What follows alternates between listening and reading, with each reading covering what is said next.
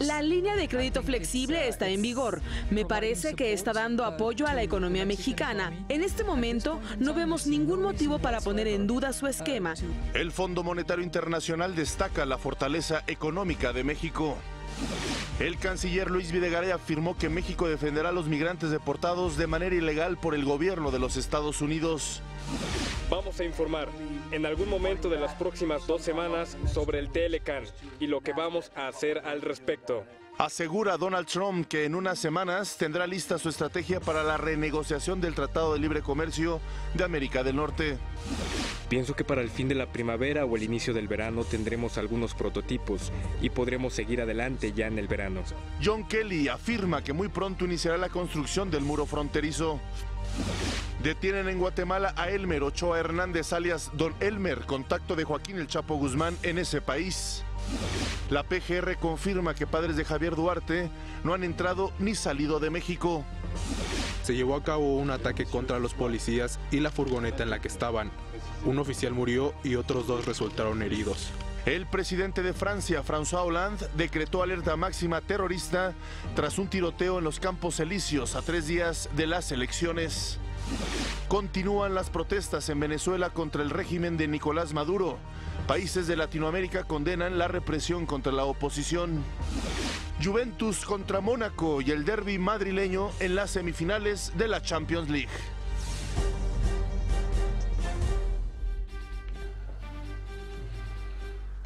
Muy buenos días, es un placer saludarlos esta mañana de viernes, son las 6 con 32 minutos prácticamente. Estamos listos para informarle durante la próxima hora y media con toda la información relevante de México, el mundo, los deportes, la educación, la cultura. Saludo con mucho gusto a Ana Cristina Olvera, quien nos ha acompañado durante esta semana y por supuesto ha sido un placer. Ana Cris, ¿cómo estás? Buenos días. El placer como siempre ha sido todo mío, Omar. Qué gusto saludarte esta mañana y qué gusto saludar a todo nuestro auditorio. También saludo con mucho gusto a Miguel González. Él nos ayuda a comunicarnos con usted a través de la lengua de señas. Y bueno, pues demos inicio con la información. Esto es México al día. Así es, Ana Cristina. En Washington, D.C., Estados Unidos, comenzó la reunión anual de primavera del Fondo Monetario Internacional y el Banco Mundial. Ahí, la directora del fondo, Christine Lagarde, expresó su confianza en la economía mexicana para mantener la línea de crédito flexible. Esto a pesar del complejo entorno global y los retos financieros que enfrenta nuestro país de manera interna. La línea de crédito flexible está en vigor. Me parece que está dando apoyo a la economía mexicana. En este momento no vemos ningún motivo para poner en duda su esquema y creemos que México satisface todos los requisitos de una línea de crédito flexible. Lagarde aseguró que México enfrentará dos eventos determinantes en 2018. Uno, la renegociación del Tratado de Libre Comercio de América del Norte y las elecciones presidenciales. En el marco de este foro, el secretario de Hacienda, José Antonio Meade, se reunió con su homólogo estadounidense, Steve Munkin. Refrendaron su interés en impulsar la cooperación e integridad del sistema financiero internacional, así como en fortalecer los mecanismos vigentes en el combate al lavado de dinero y el financiamiento del terrorismo. Por su parte, el gobernador del Banco de México, Agustín Carstens, dijo que las expectativas de inflación en nuestro país se mantienen estables. Confió en que el peso regrese a un valor apropiado gracias a una evolución positiva en la relación con el gobierno del presidente Trump. Y vuelve la forma intempestiva de declarar de Donald Trump. Volvió a remeter en contra del Tratado de Libre Comercio de América del Norte. Reiteró que es un desastre. Su estrategia de renegociación, dijo, estará lista en un par de semanas. El hecho es que el Telecán, ya sea en México o Canadá, es un desastre para nuestro país. Es un desastre. Es un desastre comercial. Vamos a informar en algún momento de las próximas dos semanas sobre el Telecan y lo que vamos a hacer al respecto. Y el canciller Luis Videgaray aseguró que el gobierno mexicano defenderá a todos los connacionales que se encuentren en Estados Unidos y que sean víctimas de deportaciones irregulares. México, España, es una nación soberana que tiene facultad plena para definir sus leyes eh, sus normas migratorias. y su política migratoria. Sin embargo, la ejecución de las mismas debe estar siempre protegida por el marco de referencia eh, común, que es el respeto a los derechos humanos. Y esto incluye el respeto al debido proceso. El secretario Mit se refirió a los casos de Maribel Trujillo y Juan Manuel Montes. Él aseguró que sus recientes deportaciones se realizaron en contra de la ley porque no representan ninguna amenaza para la Unión Americana y además no contaban con ningún antecedente penal. Los casos eh, recientes a los que te refieres, hemos tomado ya diversas acciones. Primero, entramos en contacto eh, a través de nuestros consulados eh, con eh, las personas eh, para proveer la asistencia consular y eh, junto con las organizaciones darles capacidad de representación legal. Y ojo con esta información, es muy relevante por el impacto que puede repercutir en un futuro, sobre todo en la comunidad eh, de migrantes. Y es que la revista Time incluyó a la precisamente migrante mexicana Janet Vizguerra en la lista de los 100 personajes más influyentes de 2017. Esta mujer se encuentra refugiada desde hace dos meses en una iglesia de Denver, Colorado, en Estados Unidos, para evitar ser deportada. Vizguerra llegó a la Unión Americana en 1997 y desde entonces realiza trabajo social a favor de los derechos de los migrantes indocumentados. Mientras tanto, el secretario de Seguridad Interna de los Estados Unidos, John Kelly, y el fiscal general Jeff Sessions visitaron la frontera con México. Desde ahí, Kelly habló sobre los avances en el muro que pretende construir Trump en esta frontera. Destacó que cientos de empresas ya mostraron interés en el proyecto y que en breve comenzará su construcción, pese a las dificultades que ha encontrado en el Congreso. Pienso que para el fin de la primavera o el inicio del verano tendremos algunos prototipos y podremos seguir adelante ya en el verano. No podremos hacerlo todo en una sola tarde. Eso es construir la pared, una barrera física. Depende de las condiciones, pero lo haremos tan rápido como podamos. Más tarde, en conferencia de prensa, el fiscal general Jeff Sessions envió, un mensaje claro para aquellas personas que aún buscan cruzar la frontera. Para aquellos que todavía buscan violar nuestras leyes e ingresar al país ilegalmente, déjenme ser muy claro, no vengan, por favor, no vengan. Cuando los atrapen, serán detenidos, juzgados y deportados. No vengan ilegalmente, esperen a su tiempo. La Oficina de Control de Bienes de Extranjeros de los Estados Unidos congeló los recursos de dos empresas mexicanas. Estas presuntamente pertenecen a Abigail González Valencia, líder de la organización criminal de los Queenies. Además, prohíbe que cualquier ciudadano estadounidense negocie con ellas. La dependencia informó que trabaja en conjunto con autoridades mexicanas para exponer e interrumpir todas las acciones de estas empresas que sirven de fachada para el lavado de dinero. Además, autoridades de Guatemala detuvieron a Elmer Abraham Ochoa Hernández, alias Don Elmer, señalado como el principal contacto del narcotraficante Joaquín El Chapo Guzmán en ese país. De acuerdo con la policía guatemalteca, Don Elmer fue detenido justo en la frontera con México.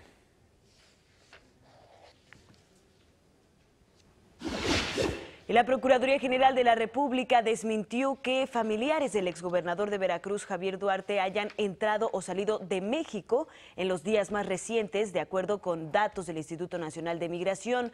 Sin embargo, diferentes medios de comunicación afirman que Karime Lozano, la esposa del exgobernador, abandonó Guatemala junto con sus hijos, se habría trasladado hasta Colombia para viajar a Londres, Inglaterra. Esta información no ha sido confirmada por las autoridades. Es hora de que vayamos a un breve corte aquí en México al Día. Les recuerdo que puede seguirnos en las redes sociales, arroba Mexaldía. Y bueno, no se vaya, tenemos más información.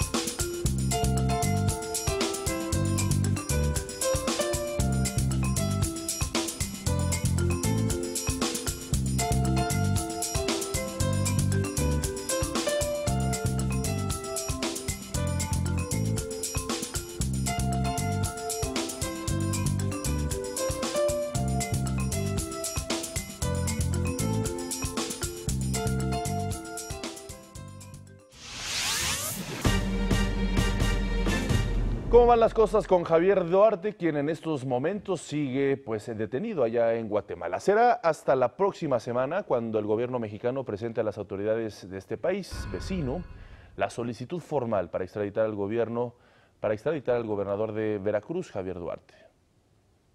Estamos viendo todos los, eh, elementos de prueba que se a aportar respecto de la orden de aprehensión con los delitos de delincuencia organizada y de operaciones con recursos de procedencia ilícita.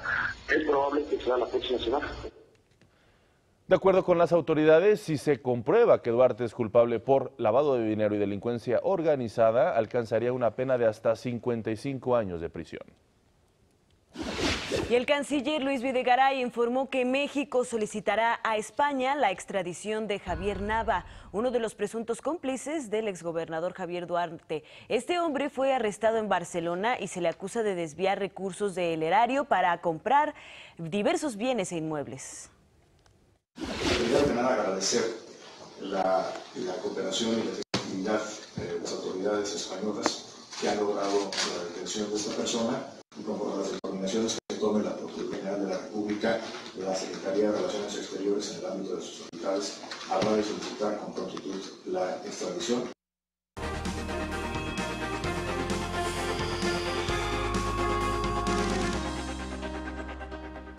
¿Cómo van las elecciones rumbo al 4 de junio allá en el Estado de México, en Coahuila, en Nayarit, también en Veracruz? Bueno, pues el secretario de Gobernación, Miguel Ángel Osorio hizo un llamado a todas las fuerzas políticas para acatar el resultado de las próximas elecciones. Dijo que el proceso debe ser respetado y para quien no lo haga, se aplicará la ley.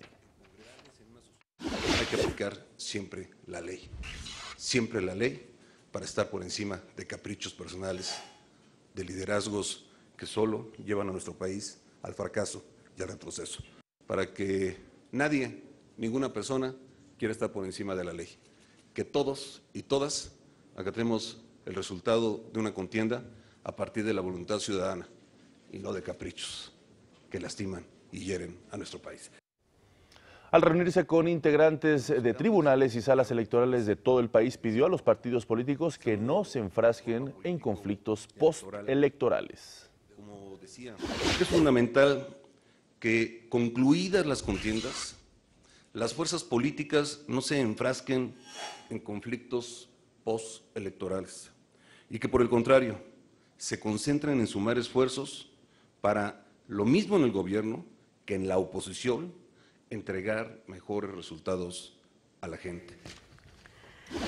El Instituto Electoral del Estado de México consideró que se deben establecer reglas para evitar el mal uso de los programas sociales durante las campañas. Por ello, se trabaja en un esquema de colaboración con la Fiscalía Especializada para la Atención de los Delitos Electorales a fin de blindar la contienda. Mediante este esquema, el IEM vigila que no se condicionen los programas sociales y que no se compre la voluntad ciudadana. También en el IEM, en el Instituto Electoral del Estado de México, eh, dio a conocer los temas que se abordarán en el primer debate oficial entre los candidatos al gobierno del Estado de México, esto el próximo martes. Estos serán seguridad e impartición de justicia, combate a la corrupción y desarrollo social. El periodista Javier Solórzano será el moderador del debate que se realizará precisamente el próximo 25 de abril, el próximo martes a las 8 horas, por cierto los canales de televisión educativa estarán transmitiendo completamente en vivo eh, este debate electoral. El tiempo de intervención de cada aspirante a la gubernatura mexiquense será de dos minutos con réplicas de un minuto y medio. Y estas fueron las actividades de los candidatos al gobierno del Estado de México. El candidato del PRI, Alfredo del Mazo, visitó el municipio de Atizapán, donde se comprometió a aumentar la seguridad de la entidad, especialmente en el transporte público. Tenemos que trabajar en la seguridad en el transporte. Aquí se mencionaba, y ahorita entro un poco más al tema de movilidad, pero la seguridad en el transporte es fundamental. Hoy en día el robo en transporte público es de, los principales delitos que tenemos en el, en el Estado de México. El abanderado del PRD, Juan Cepeda, visitó el municipio de La Paz, donde prometió la ampliación del metro de los Reyes La Paz a Chalco. También dijo que de ganar las elecciones garantizará 150 kilómetros de vías gratuitas e implementará una nueva cultura vial. Que vamos a construir mínimamente 150 kilómetros de carreteras que sean gratuitas en esta parte de la zona conurbada. Vamos a revocar la concesión del circuito exterior mexiquense y lo vamos a volver gratuito. La candidata del PAN, Josefina Vázquez Mota, aseguró que terminará con la corrupción dentro de las corporaciones de seguridad.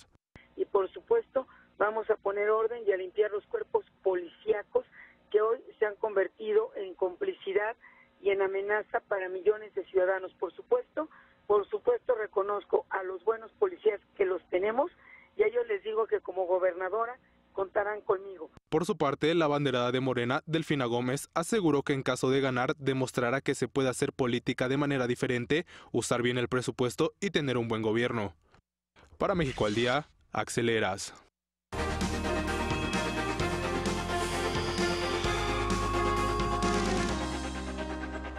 Retomamos la información nacional. el secretario de Movilidad de la Ciudad de México, Héctor Serrano, confirmó que sí habrá un aumento en las tarifas al transporte público concesionado. Dejar claro que este incremento obedece al incremento que tuvieron los combustibles. No es una respuesta a una propuesta añeja de algunos transportistas que pretendían tener mayor utilidad. No es así. Lo que estamos haciendo es encontrar el justo equilibrio para garantizar que no vaya, a haber, no vaya a haber desabasto. Lo más lamentable que puede pasar en la Ciudad de México es que transportistas no puedan dar el servicio porque simple y llanamente no tienen para pagar el combustible. Este incremento oficial se dará a conocer los próximos días. Sin embargo, se calcula que será de un peso y aplicará para microbuses, combis, autobuses y corredores de transporte público, mientras que el metro, Metrobús, sistema RTP, tren ligero y trolebús continuarán con la misma tarifa. Y si usted ha viajado en avión, seguramente alguna vez ha tenido algún problema con las aerolíneas. Pues el Senado recibió una minuta que reforma la ley de aviación civil en el país. Esta busca proteger y fortalecer los derechos de los pasajeros. En esta reforma se plantea que las aerolíneas están obligadas a prestar un servicio de calidad y eficiente, así como a indemnizar a los usuarios ante cualquier cancelación o retraso en los vuelos. De igual forma, establece que todas las tarifas sean claras y comprobables. En entrevista para México al Día, edición Meridiano, el senador Luis Armando Melgar habló sobre el panorama para abordar este tema en la Cámara Alta. Porque pensamos que falta todavía transparentar, precisar detalles como qué sucede en cuanto a las recompensas, las compensaciones que las líneas deben de dar con los retrasos. Sin lugar a dudas hay un consenso aquí en el Senado de que hay que avanzar. La única, la única, el único riesgo que vemos ahorita, y te lo confieso, es que faltan, nos quedan, descontando la sesión del día de hoy, nos quedan tres sesiones la próxima semana para cerrar el periodo ordinario. Además, el Pleno del Senado ratificó a Alejandro Falla Rodríguez como el nuevo titular de la Comisión Federal de Competencia Económica. Estará en el cargo por nueve años, mientras que Arturo Robles Robalo fue ratificado como comisionado del Instituto Federal de Telecomunicaciones. Vamos ahora a las breves del país.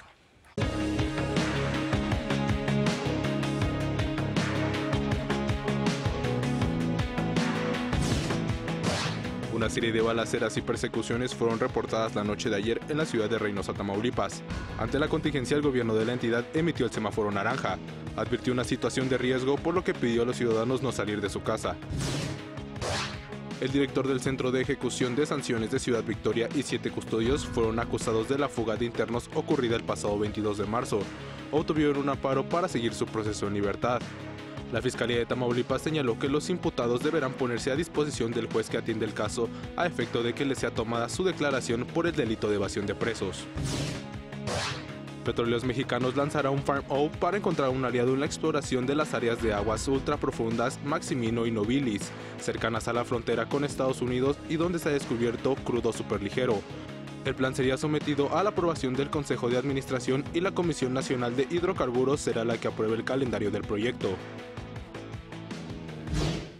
El canciller Luis Videgaray fue recibido por el rey de España, Felipe VI, y la reina Leticia. Recordaron los lazos históricos que caracterizan la relación bilateral y destacaron el excelente momento por el que atraviesan el diálogo político, los intercambios económicos y la cooperación en todos los ámbitos. El secretario Videgaray recibió las llaves del inmueble que será la sede de la Casa México allá en España.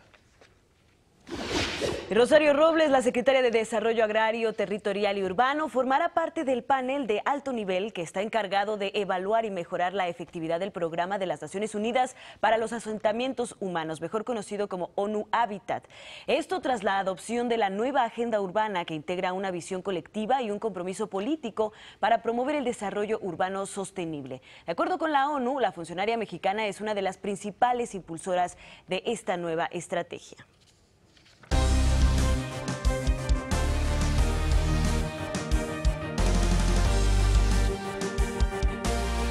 Noticias de nueva cuenta fue, eh, sucedió en Francia y fue escenario de un atentado terrorista en pleno corazón de París, en los Campos Elíseos, una de las principales calles de esta hermosa ciudad. Un hombre atacó a tiros a la policía.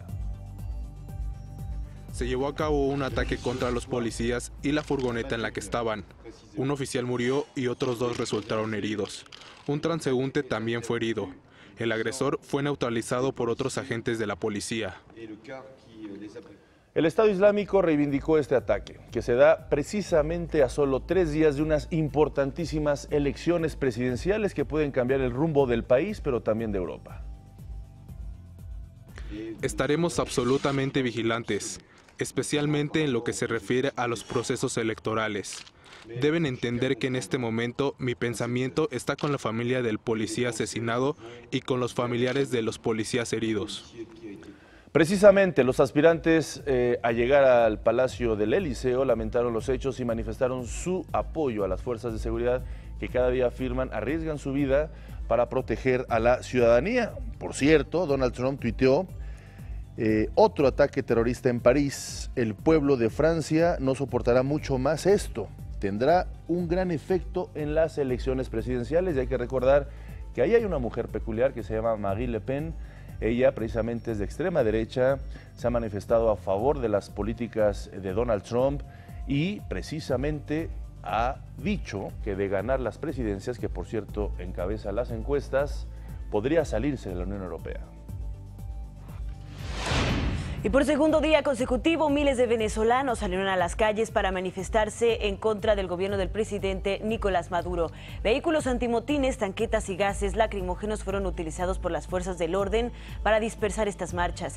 En este contexto, nueve países de Latinoamérica, entre ellos México, condenaron la represión de las protestas. El presidente Nicolás Maduro llamó terroristas a los manifestantes y pidió que se investigue a la empresa Movistar por sumarse a la convocatoria de un golpe de Estado mientras que General Motors anunció que suspenderá sus operaciones en Venezuela. En más información de Sudamérica, el presidente de Colombia, Juan Manuel Santos, fue citado a declarar ante las autoridades electorales. Esto como parte de una investigación por un financiamiento irregular que la constructora brasileña Odebrecht presuntamente hizo a la campaña de reelección del mandatario. La cita es hoy, eh, perdone usted, la cita es para el 8 de mayo y Santos, Juan Manuel Santos, podrá declarar en persona o por escrito. Las acciones del gobierno federal en materia ambiental permitieron reducir los niveles de contaminación en el Valle de México. Esto lo afirmó el secretario de Medio Ambiente, Rafael Paquiano. Informó que la federación invirtió 5 mil millones de pesos para financiar la compra y sustitución de transporte limpio y eficiente, además de destinar 160 millones en apoyos a transportistas para que puedan transitar a tecnologías de gas natural. Han sido decisiones responsables que hemos tomado en conjunto dentro de la comisión y que al día de hoy nos permiten estar empezando una temporada de ozono que sin duda va a ser complicada como la del año pasado, pero que al día de hoy hemos tenido solamente un episodio por arriba de los 150 IMECAS, cuando el año pasado a estas mismas alturas del partido ya teníamos más de 8. Precisamente para promover el uso de la bicicleta entre la ciudadanía, legisladores del PRI-PAN y Partido Verde realizaron una rodada ciclista que partió del Auditorio Nacional y concluyó en el Senado. Dicha rodada fue convocada por Jesús Casillas, presidente de la Comisión de Movilidad, y por Carlos Alberto Puente, de la Comisión de la Juventud y el Deporte. Esto en el marco del Día Mundial de la Bicicleta y por el aniversario 200 de la creación de este medio de transporte precisamente, que no contamina, que es barato y por supuesto trae muchos beneficios a nuestra salud. Fue presentada la quinta edición de la Expo de los Pueblos Indígenas que se realizará del 4 al 7 de mayo. La directora de la Comisión Nacional para el Desarrollo de los Pueblos Indígenas, Nuria Mayorga, aseguró que desde 2012 la estrategia ha ayudado a posicionar los productos hechos en comunidades indígenas del país. Todo esto con el objetivo de que este sector de la población reciba un ingreso fijo que ayude a cubrir sus necesidades. Lo que buscamos con estas expos es la comercialización es seguir colocando la marca Manos Indígena, una marca que registró la CDE en el INCO y que ayudamos a todos estos proyectos productivos de los diferentes estados a que coloquen esta marca. Precisó que se trabaja con la Secretaría de Hacienda y con Nacional Financiera, esto para otorgar créditos personales y con tasas de interés muy bajas a estas empresas. El Servicio de Administración Tributaria y Enajenación de Bienes subastará tres helicópteros propiedad de gobiernos estatales con un precio de salida que en suma supera los 72 millones de pesos. Las aeronaves fueron propiedad de los gobiernos de Nuevo León, Hidalgo y Colima. Dos de ellos ya estaban disponibles con anterioridad y uno se incorpora este año a la cuarta subasta presencial regional de bienes inmuebles que se realizará el próximo 27 de abril en León, Guanajuato. Llegó el momento de ir a nuestro resumen. Antes, muchas gracias a quienes nos acompañaron en esta primera media hora. Esto es México al Día.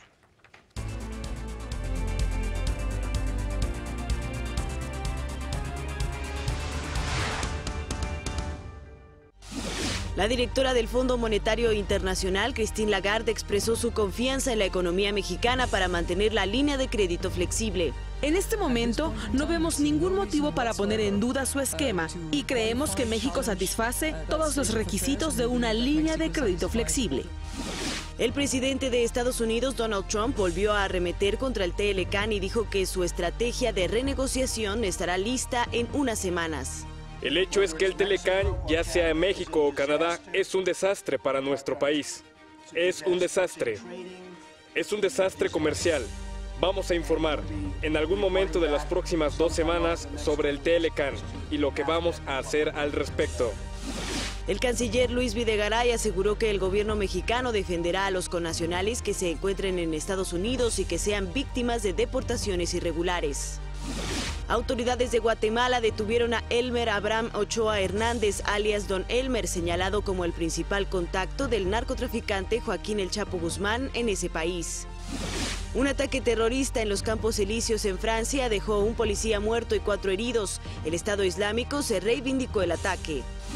Más adelante listas las semifinales de la Champions League. Google lanza certamen en América Latina para apoyar proyectos innovadores.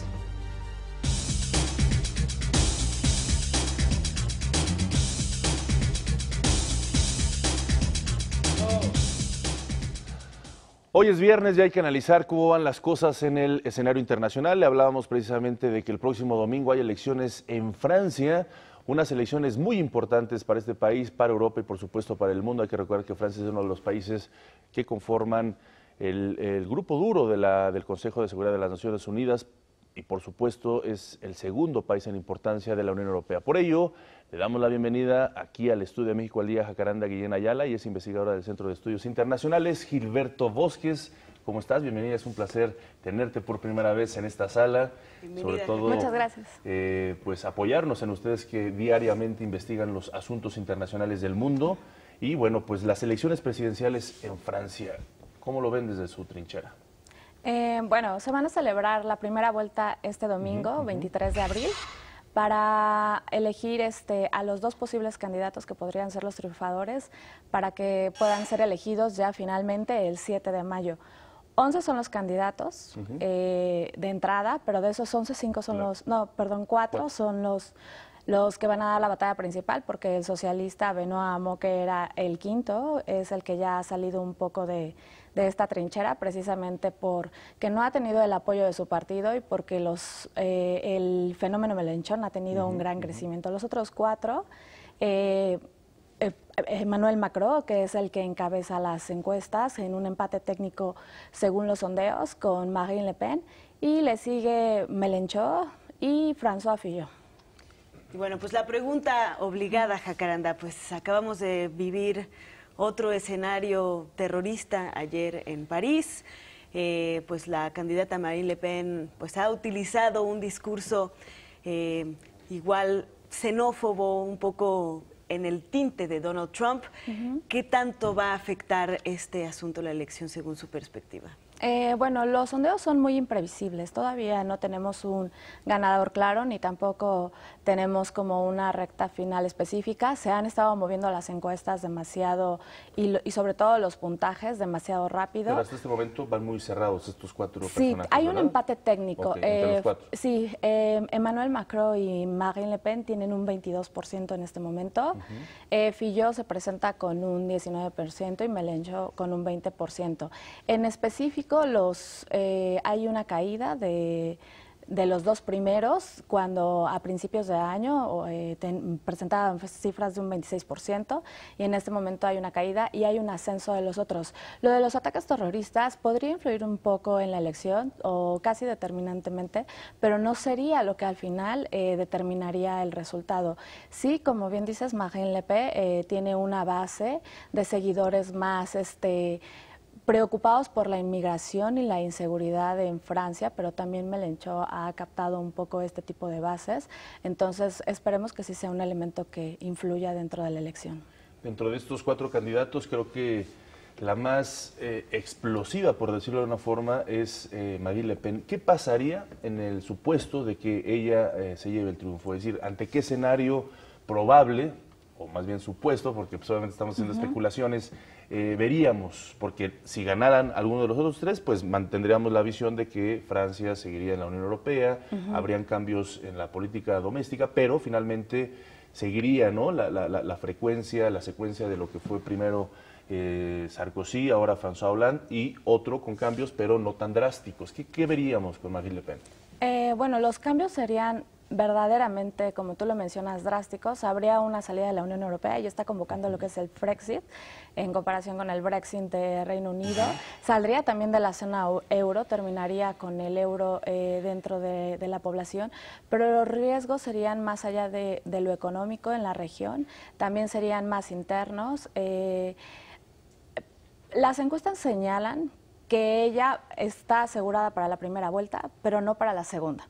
Todas las encuestas le dan como un, o sea, ella que no va a ganar la, segunda vuelta y este, también tenemos que ver un poco las bases que la siguen, la participación de la población que está detrás de ella. Ella tiene muchos seguidores en jóvenes, en obreros y en el voto rural. Las encuestas señalan que para que ella realmente gane necesita o que haya una abstención de parte de la población en la primera vuelta o que salgan a votar este, las bases que ella ha convocado. Eh, el partido ha tenido algunos triunfos regionales, que es lo que le ha posicionado con algunos éxitos en este momento. Pero eh, en las elecciones de 2012 y de 2015, donde ha eh, conseguido estos éxitos, sus bases, que son eh, más que nada en, ese momento los obreros y el voto rural, no salió a votar por ella. Un 60% de los, de los seguidores no salió a votar por ella. En este momento las encuestas nos dicen que esos, ese sería un gran problema para Marine Le Pen. Como les vuelvo a mencionar, ella está asegurada para la primera vuelta, pero todos los sondeos señalan que la segunda no. La tendrá que contender con alguno de los otros tres, pero no para, Ajá, para que ella lo gane. Bueno, esto para entender un poco la postura del EP, pero eh, pues para la gente que no conoce pues la política obviamente de Francia, ¿cuál sería la principal característica de los otros candidatos punteros, Mélenchon, eh, Filon eh, y Macron? Eh, la principal característica en cuanto a la política en Francia. Sí, su principal propuesta, su estandarte o su principal característica que los eh, Bueno, eh, para empezar, yo parte de una de las fuerzas tradicionales de la política francesa, que es, los republicanos, el partido del expresidente Nicolás Sarkozy. Es un candidato conservador, se, le, se piensa que más conservador que Sarkozy. Eh, Melenchó es un partido de, es un, perdón, un candidato de un partido de radical izquierda eh, con bases comunistas que ha tenido este eh, dentro de sus propuestas y de sus bases este, rotundas políticas y programas como para Francia, o sea, piensa replantear desde una asamblea constituyente hasta reformar la constitución, hasta promover este, diversas reformas este, de tipo social y económico en el país. Emmanuel Macron es un político que nace de reciente aparición en la vida política de Francia. Eh, es, un, es un político ex militante del Partido Socialista que pone en, en, marcha el movimiento En Marcha de reciente creación y es un político que ha captado la base de todos aquellos este, franceses que se sienten incomodados o se sienten defraudados con el eh, presidente Hollande, pero que también este, no se sienten tan identificados con un espectro conservador o con un, este, eh, o con un partido comunista comercial de Mélenchon. Pues muchísimas gracias por traernos esta radiografía de lo que está por vivirse allá en Francia el próximo domingo la primera parte, porque la segunda, como bien lo dices, ¿cuándo va a ser la segunda elección? El 7 de mayo. Y tenemos las legislativas en junio para la Asamblea Constituyente y para el Senado en septiembre. Pues importantísimas estas elecciones. Sí. Gracias, Caranda. Te esperamos muy pronto para que nos ayudes a dar luz a otros temas internacionales. Gracias. Gracias. Y bueno, es viernes de En Corto y en punto de las ocho y media de la noche no se pierda la conversación que tuvo mi compañero Jorge Rubio con el clavadista olímpico Romel Pacheco. Aquí un adelanto de esta conversación. A los tres años inicio natación, mis hermanos también. Y de ahí nos pusimos un club y hice todos los deportes, béisbol, fútbol, ajedrez, pintar cerámica, a todo me metían. Y entre ellos clavados. Entonces era de la escuela a comer, nos llevaban al club. Mira, yo creo que tanto el deporte como en la vida eh, Nada es fácil y nada es complicado. Por eso son pocas las personas que tienen éxito, por eso son pocas las personas que ganan y, que se le, y por eso es el reconocimiento. Eh, estoy consciente que, que la gente le gusta ver a México ganar, pues a uno, a uno le gusta ver a México ganar y como dices, nadie se para ahí a perder. La verdad es que mi carrera ascendió muy, muy, muy rápido desde el inicio. Eh, entonces, eh, pues me tocó estar con los mejores tanto de México como a nivel internacional y, pues, pues disfrutándolo, ¿verdad? Disfrutándolo. Siempre he sido una persona muy, muy trabajadora, muy, soy muy tenaz, estoy ahí una y otra y otra y otra vez hasta que salga. Si vieron hoy, fui el último en, salir. Eh, y es parte, es parte del, trabajo. Nada, nada es gratis, nada es fácil, nada te regalan. Entonces, todo es a base de trabajo, de esfuerzo, de dedicación. A algunos les llega más fácil que a otros. Si te llega fácil, no lo disfrutas. Entonces, eh, a mí me ha tocado siempre estar picando piedra y siempre trabajar mucho. Y, la verdad agradezco todo, todo lo, que, lo que he pasado porque me ha forjado y me ha formado la persona, la persona que soy. Secretaría de Educación Pública. Esta mañana nos da mucho gusto que esté aquí en el Estudio de México al día. Esta mañana damos la bienvenida al Estudio de México al día. Y además, el, siempre los viernes creo que es el mejor día para poder hablar de, de, cultura, de arte, y por ello pues le damos la bienvenida eh, al, al, Estudio de México al día Alex Lazar, quien precisamente eh, en estos momentos tiene una exposición en el Centro Cultural eh, del México contemporáneo. Alex, muy buenos días, gracias por acompañarnos. Además de hablar de la exposición, por supuesto, queremos platicar de otros temas, de cómo pues, ha sido tu desarrollo en, la cultura, en la pintura. Estaba viendo hace unos momentos, antes de entrar al aire, unos cuadros que tú has, eh, pues obviamente, dibujado, hecho, y realmente es una propuesta muy interesante, muy innovadora. Antes de platicar de otros asuntos, platícanos cuál es el centro de tu obra, cuál es eh, la motivación de tus cuadros y qué reflejan en ellos. Bienvenido, Alex. Muchísimas gracias. Antes que nada, agradecer este espacio.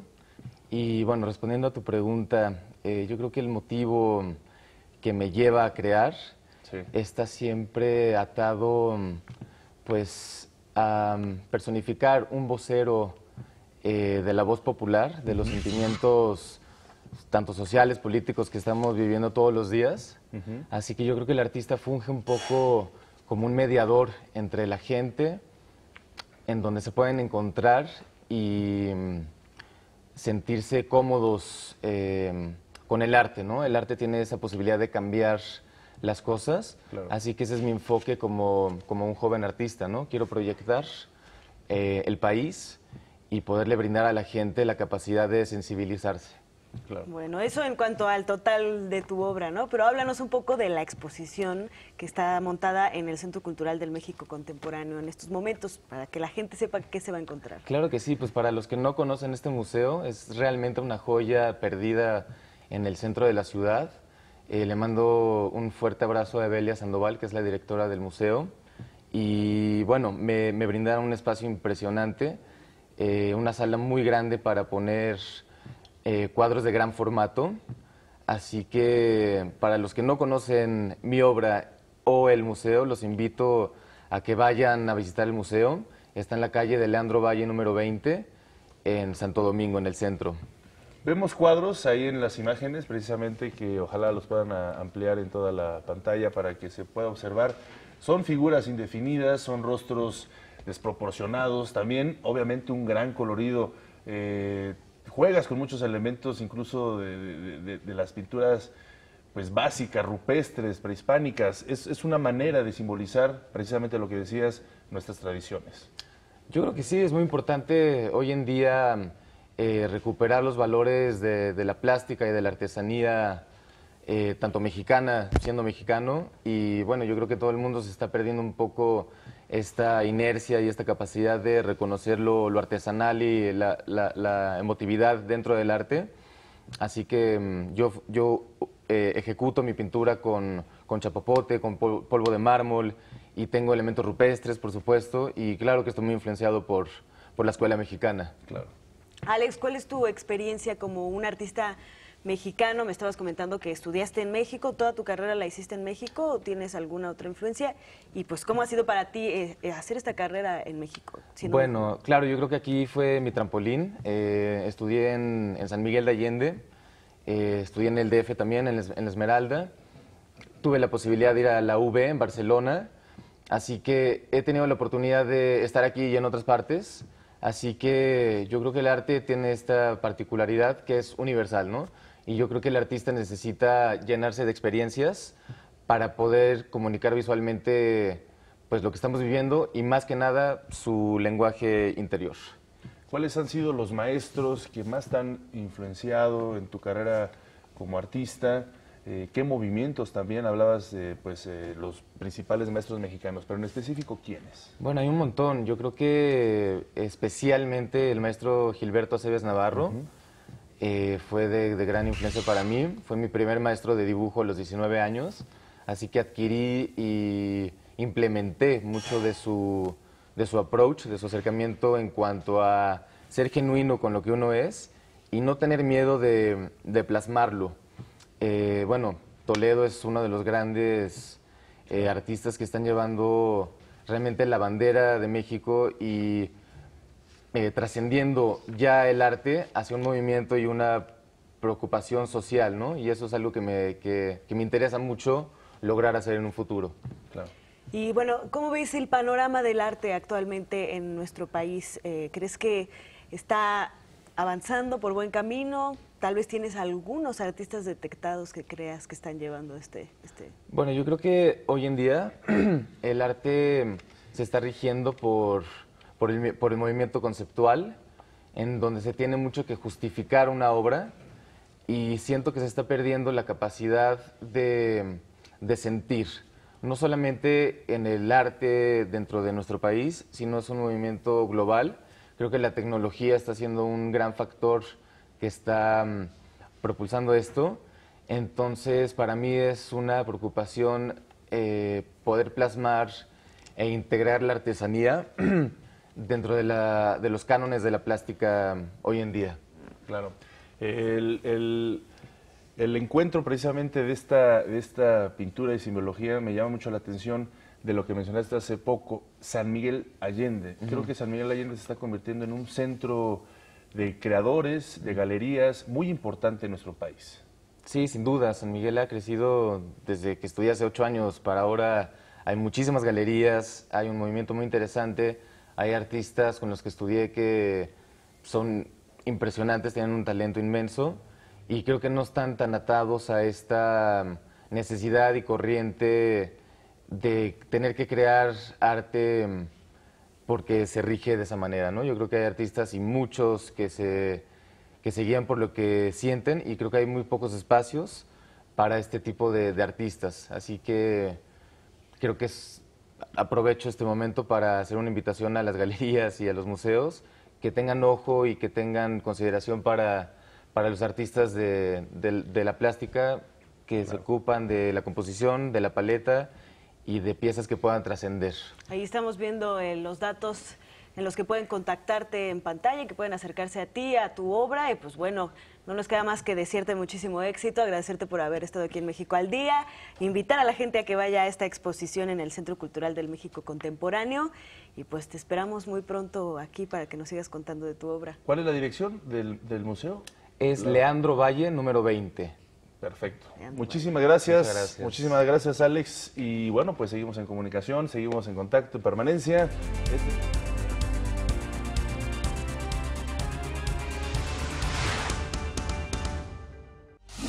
La revista Time incluyó a la migrante mexicana Janet Vizguerra en la lista de los 100 personajes más influyentes de 2017. El secretario de Seguridad Interna de Estados Unidos, John Kelly, aseguró que la construcción del muro fronterizo comenzará muy pronto.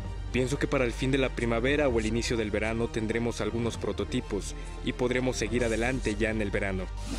La Oficina de Control de Bienes de Extranjeros de los Estados Unidos congeló los recursos de dos empresas mexicanas que presuntamente pertenecen a Abigail González Valencia, líder de la organización criminal Los Queenies. El secretario de Gobernación Miguel Ángel Osorio Chong hizo un llamado a todas las fuerzas políticas para acatar el resultado de las próximas elecciones. Hay que aplicar siempre la ley siempre la ley para estar por encima de caprichos personales. En entrevista para México al Día, Jacaranda Guillén, investigadora del Centro de Estudios Internacionales Gilberto Bosques, habló sobre el impacto que tendrán los ataques terroristas de ayer en París en las elecciones presidenciales francesas del próximo domingo. Lo de los ataques terroristas podría influir un poco en la elección o casi determinantemente, pero no sería lo que al final eh, determinaría el resultado.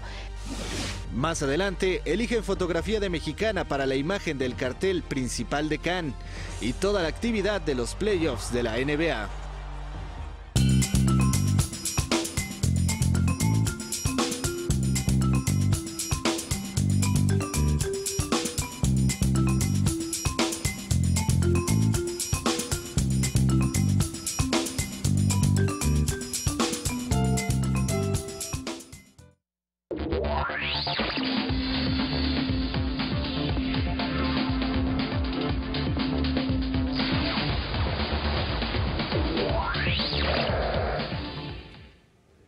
Vamos ahora a ver la información de lo que sucede en las redes en materia de tecnología, de ciencia y de innovación. Y es que desde que inició prácticamente el gobierno de Donald Trump en los Estados Unidos se han estado gestando diferentes movilizaciones, sobre todo por supuesto a través de las redes sociales en contra de algunas de sus posturas y de sus políticas.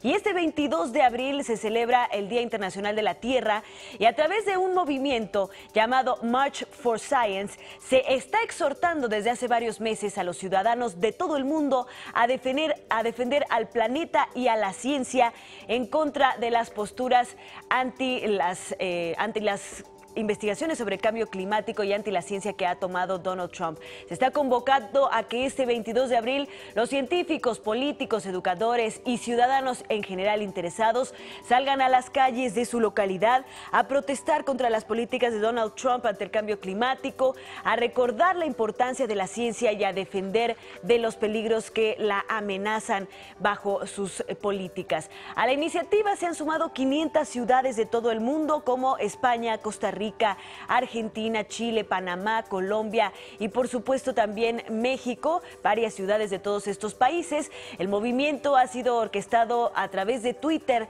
a través del hashtag March for Science, que traduce como Marcha por la Ciencia. En nuestro país varios estados han confirmado su participación, entre ellos Guadalajara, Mérida, San Luis Potosí, Irapuato, Baja California y la Ciudad de México. Y bueno, eh, pues se van a protestar con contra las políticas de Donald Trump y la marcha en la Ciudad de México, por ejemplo, iniciará a las 4 pm e irá del Ángel de la Independencia hasta el Zócalo.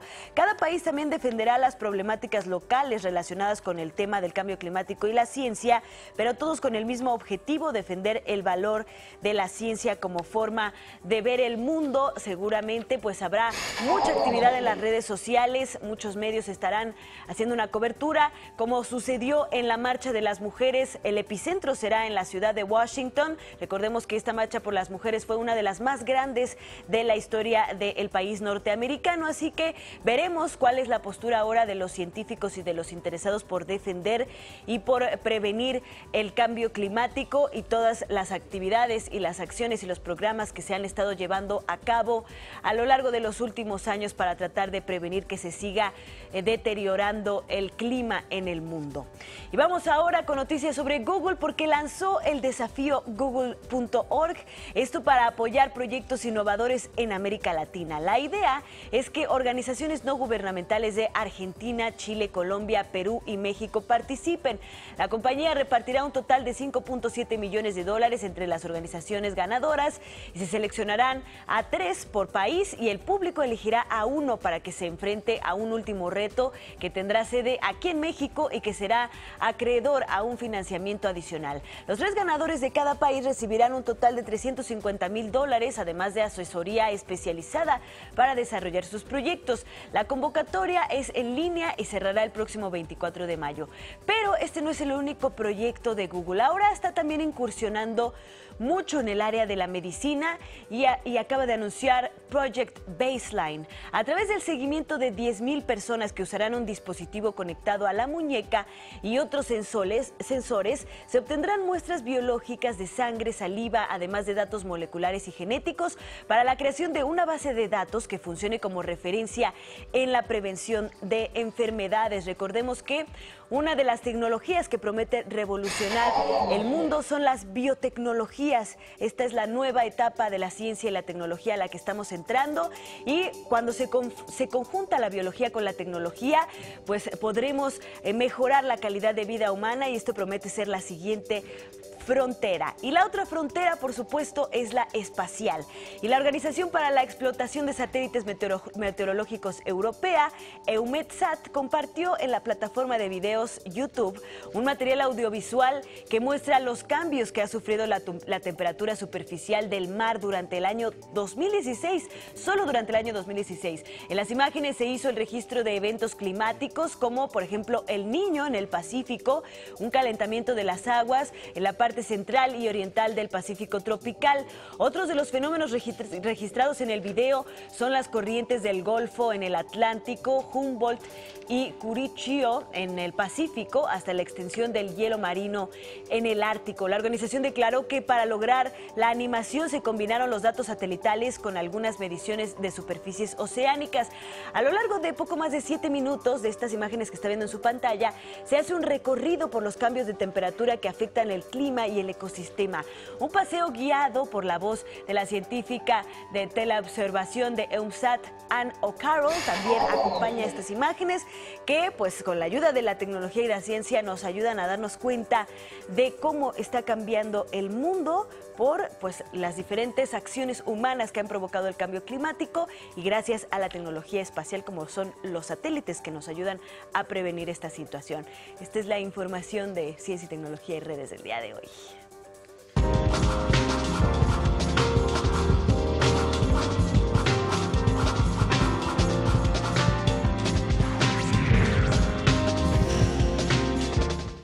La información cultural, aquí la tenemos en México al día y precisamente nuestro país es sede del segundo Festival de Teatro Sensorial por la Inclusión. El teatro sensorial pone al espectador en primer plano, permitiéndole ser parte de la obra. Guiado por texturas, aromas, sonidos y música, el público es capaz de experimentar el silencio visual. Nosotros trabajamos particularmente un concepto que se llama teatro ciego, que trabaja la no luz como concepto artístico que el público, cada uno de ellos se lleva su propia obra. Este, yo me doy cuenta con la, con la imaginación, porque al no ver cada uno imagina lo que imagina personalmente, no, no se puede compartir eso. Compañías de México, Colombia, España y Argentina forman parte de Transperceptual, segundo Festival Internacional de Teatro Sensorial por la Inclusión. El encuentro artístico se propone mostrar que el teatro es un medio de comunicación y herramienta de inclusión social. La gente ingresa a la sala en completa oscuridad y desarrolla todo su, su, potencial porque empieza a percibir una realidad distinta. Hay un montón de cosas que en el teatro convencional están obligadamente puestos y no te dan la posibilidad de imaginar. En cambio en el Teatro Ciego nosotros trabajamos alrededor de la gente, los tocamos, eh, pasamos por al lado, les susurramos al oído. Teatro Ciego de Buenos Aires, Argentina, acude al festival con la puesta en escena para niños Mi amiga la oscuridad y el musical para adultos Un viaje a ciegas. Que le hemos adaptado, le hemos mexicanizado a la obra con el, el, léxico de aquí para que se entiendan porque es una obra de humor musical con un viaje que tiene que ver con la oscuridad, con los sentidos, es una obra muy divertida. El Festival Transperceptual cuenta con un programa académico de mesas de reflexión sobre arte e inclusión, así como talleres de teatro sensorial. Los montajes se presentarán en el Teatro de la Ciudad y el Faro de Oriente, entre otras sedes, del 20 de abril al 7 de mayo. Para México al Día, Rufino Enríquez González. La, Feria Nacional del Libro de León reconocerá a la escritora mexicana Amparo Dávila con la distinción Compromiso con las Letras, esto por su aportación significativa a la literatura y la creación de lectores. En el Centro Expositor Poliforum León, la FENAL 2017 ofrecerá más de 200 actividades artísticas y literarias con la presencia de más de 100 expositores y 230 sellos editoriales, además de talleres infantiles, exposiciones y ciclos de cine. En el evento del Bajío se darán citas 70 autores nacionales e internacionales, entre ellos, por ejemplo, Jill Lipovetsky, Santiago Roncagliolo y José Gordon. Hemos apostado fuerte a mejorarla, a inclinar una vocación hacia la generación de lectores, es decir, la vuelta a la palabra hacia los niños y jóvenes. Y apostar por la lectura, por la feria de los libros, es fundamental hoy en día. Cuando estamos leyendo, estamos haciendo comunicación, estamos comunicados, está habiendo comunión. De eso se tratan las ferias de los libros. El novelista español Eduardo Mendoza recibió el premio Miguel de Cervantes, el mayor galardón literario del mundo de habla hispana. En una ceremonia solemne celebrada en la Universidad de Alcalá de Henares, el catalán, autor de los libros La ciudad de los prodigios y Sin noticias de Gur, reivindicó el humor como género literario en mayúsculas.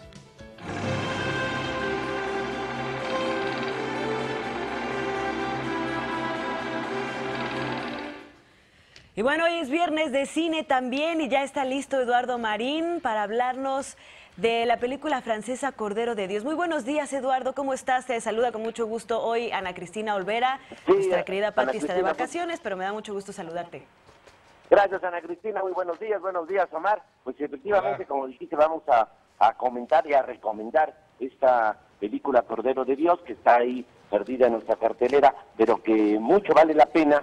Es una coproducción franco-belga de título original Los Inocentes, y es una película brillante de calidad que aborda además un tema muy relevante. Es la historia real de unas monjas en un monasterio polaco a fines de 1945, justo recién terminada la Segunda Guerra Mundial, eh, que fueron víctimas de una violación masiva por parte de tropas soviéticas y que, bueno, enfrentan una crisis existencial al, eh, por su eh, que quedaron embarazadas. Es una historia trazada con inteligencia, con rigor en el desarrollo argumental y también con eficacia narrativa. Una historia que permea nuestro interior, que permanece en nuestra memoria, porque es una historia de fuertes proporciones humanas, una crónica real que pues da testimonio de los conflictos de la guerra, de las atrocidades a las que puede llegar el ser humano, al odio, a la debacle moral en situaciones determinadas. El Cordero de Dios eh, está dirigida por una cineasta poco conocida, pero muy interesante, de innegable talento, de buen talante en el oficio, que es la eh, luxemburguesa Anne Fontaine, quien ya quien dirigió la eficaz Coco antes de Chanel y también la muy atrayente y polémica Adog. Es una cineasta muy mesurada que nos ofrece, nos ha ofrecido en sus películas retratos individuales sobre mujeres y creo que este Cordero de Dios pues es su película más redonda, la de mayor calidad, es una película valiosa, muy recomendable, que por cierto debería estar en la programación de la muestra de cine que actualmente se exhibe en la Cineteca y en varias salas, porque sin duda pues es de mayor calidad que varias de las películas que se están exhibiendo en este evento. Así que vale la pena pues eh, buscarla primero en la cartelera, está en pocas salas, pero muy recomendable, Cordero de Dios. Así es, Eduardo, se ven eh, imágenes por las que estaba percibiendo a través de nuestras pantallas, imágenes muy realistas, crudas, imágenes profundas, muy características del cine francés, con esta carga emocional, con esta carga psicológica muy fuerte. ¿Y qué tema? El tema de la guerra, como bien lo dices, eh, pues en este contexto pues de, mucha, eh, de mucho dramatismo, ¿no? Así es, pero a pesar de que es cierto lo que comentas, Omar, también hay que destacar que no es una película con excesos y creo que esa es una de sus virtudes, es una película que sí tiene una fuerte carga de dramatismo, pero que está trazada también con eh, mesura en las partes más eh, crudas, digamos, de la historia y sin, duda con un gran oficio y talento narrativo. Muchísimas gracias, Eduardo Marín Conde, por esta eh, pues tan tan bella recomendación, siempre poniendo los puntos precisos en el, en, el buen cine. Muchísimas gracias, que pases un excelente fin de semana. Muchas gracias, muy buenos días. Hasta luego. La cuadragésima novena quincena de realizadores del Festival de Cannes eligió una fotografía de la mexicana Graciela Iturbide como la imagen del cartel de la edición de este año. En la imagen, en blanco y negro, tomada en Italia por la fotógrafa mexicana, se lee la palabra sueño el Festival de Cannes se celebrará del 18 al 28 de mayo y por supuesto aquí le tendremos todos los pormenores.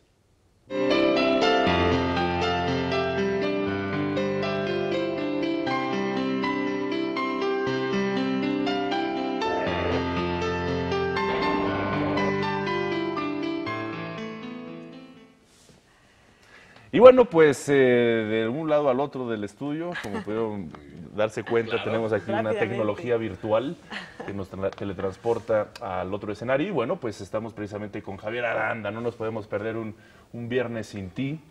Y además un libro pues hermosísimo sobre una gran eh, eh, Leonora, Leonora Carrington, una gran pintora, escultora, ¿no? con una además experiencia de vida fenomenal, que creo que tú nos eh, platicarás más a profundidad cómo la, cómo la, la, ilustra Elena Poniatowska. Gracias por estar con nosotros nuevamente en esta sección que se llama Confieso que he leído. Javier Aranda. Javier, Gracias. Bienvenido, qué gusto verte. Igualmente, me da gusto pues, compartirles estas lecturas porque son mundos realmente como muy interesantes, están llenos de vitalidad, están llenos de información.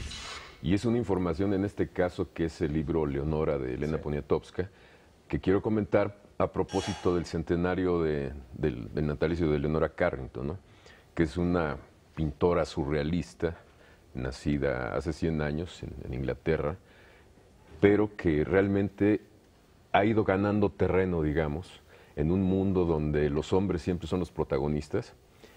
Nos hace ver precisamente Elena Poniatowska que ella, a pesar de estar en un grupo de vanguardia, muy liberal en muchos sentidos, pues ella también como que la hacían a un lado o la veían simplemente como una mujer, ¿no? Es decir, un objeto del deseo. Era muy guapa. fue una, señora pues, muy interesante, incluso ya, ya, grande. Pues tenía una gran personalidad, tuvo una lucidez hasta el final.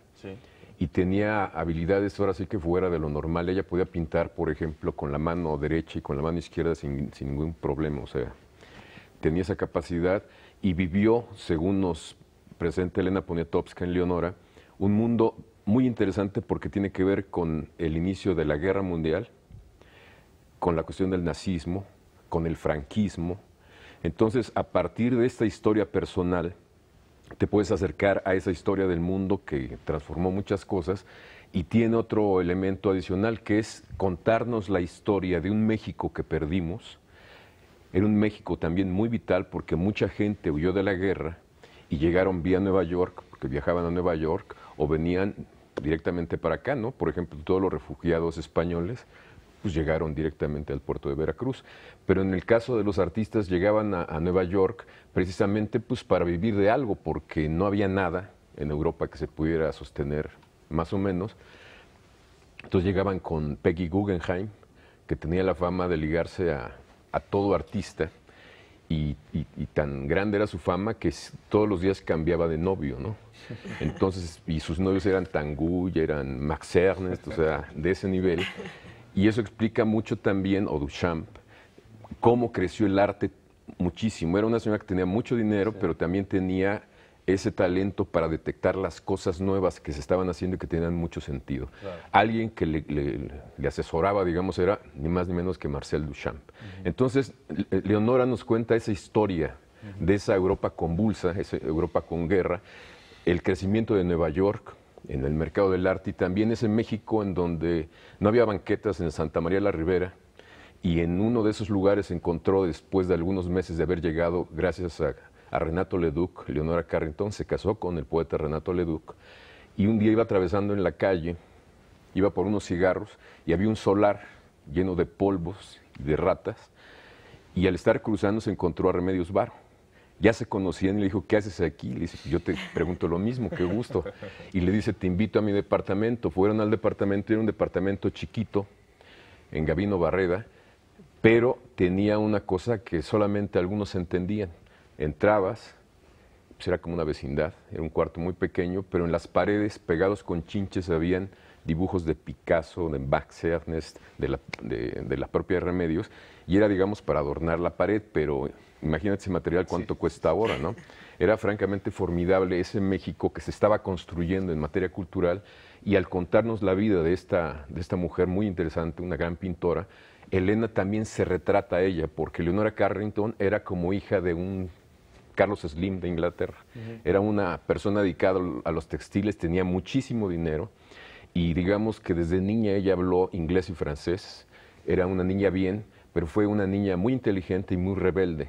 Se rebeló contra sus padres, aprendió muchas cosas, tenía una agilidad mental increíble y siempre fue como muy adelantada en muchas cosas. Yo creo que a ella le ayudó mucho el concentrarse mucho en su trabajo, trabajar luego en la cocina, hacía mole. Era, una- era un personaje interesante y al contarnos la vida de esta, de esta mujer que tuvo un- una cuna interesante, digamos, en términos de ese mundo de, de los ricos, Elena Poniatowska nos cuenta también su propia historia, porque para ella es importante que se pidan las cosas en francés, que se sepan utilizar esas- esos cubiertos chiquititos, una cucharita y un cuchillito para tomar el postre, y no cualquiera sabe usarlo. Elena Poniatowska, ustedes saben que ella es también, pues es descendiente de Catalina la Grande, entonces conoce todo ese ir y venir de las casas que tiene mucho, mucho dinero. Entonces, al contarnos la historia de Leonora, nos cuenta su historia, nos cuenta la historia de Europa y de ese México emergente que generó en cultura muchísimas cosas. Pues es muy interesante también lo que hace Elena Poniatowska, ¿no? De contarnos sus experiencias a través de esta magnífica prosa que ella maneja y pues de primera mano los personajes que conoció, ¿no? Sí, fíjate, toca temas históricos, pero no te choca, o sea, te está contando una historia muy interesante, una mujer muy interesante, y te va metiendo información y dices, qué increíble, Elena tiene esa capacidad de bordar tanta información que muchos historiadores serios, serios, recurren a sus novelas para hacerse de nuevos datos. Así es, Leonora Carrington, muy conocida, pero lo que hay detrás de sus cuadros, de sus esculturas, es algo tremendo. Una mujer magnética, revolucionaria en su tiempo.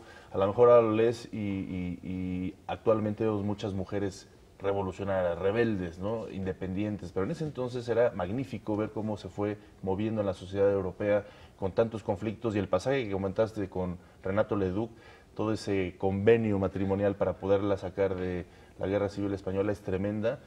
Soy gran eh, fanático de Renato Leduc, gracias a mi padre, y es algo esplendoroso. este es un poeta que no hemos sabido reconocer. A ver ¿eh? si podemos hablar pronto. Por supuesto. Muchísimas gracias. Semana y este viernes a las eh, 12.45 horas exactamente, el presidente Enrique Peña Nieto participará en la ceremonia conmemorativa por la gesta heroica del puerto de Veracruz y en la jura de bandera de cadetes de primer año de la heroica Escuela Naval Militar. Así es, vamos ahora a nuestro resumen final.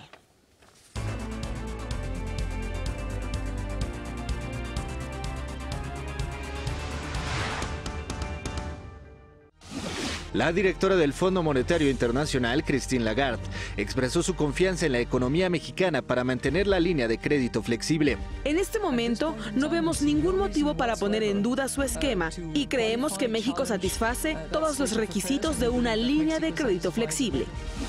El presidente de Estados Unidos, Donald Trump, volvió a arremeter contra el Tratado de Libre Comercio de América del Norte y dijo que su estrategia de renegociación estará lista en unas semanas. El hecho es que el Telecán, ya sea en México o Canadá, es un desastre para nuestro país. El canciller Luis Videgaray aseguró que el gobierno mexicano defenderá a los conacionales que se encuentren en Estados Unidos y que sean víctimas de deportaciones irregulares.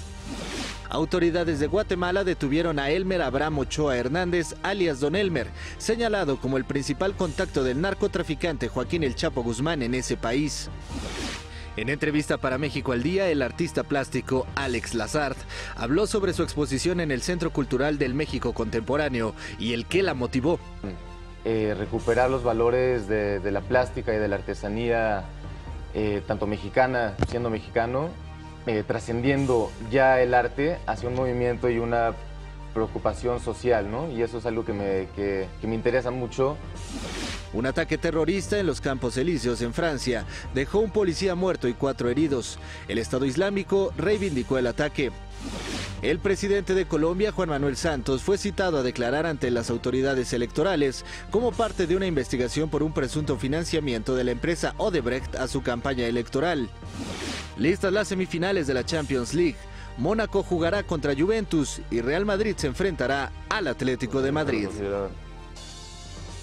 Concluimos así esta emisión de viernes, concluimos esta semana de información. Gracias a Miguel González por ayudarnos a comunicarnos a través de la lengua de señas. Gracias, Javier. Javier, despídete. De... No, gracias a ustedes. Nos vemos aquí la próxima semana. Próximo viernes. Muchísimas gracias y bueno, pues que tengan un excelente fin de semana. Así es, este es un esfuerzo de televisión educativa. Fue un placer informarles esta mañana de viernes. Nos vemos el lunes con más información.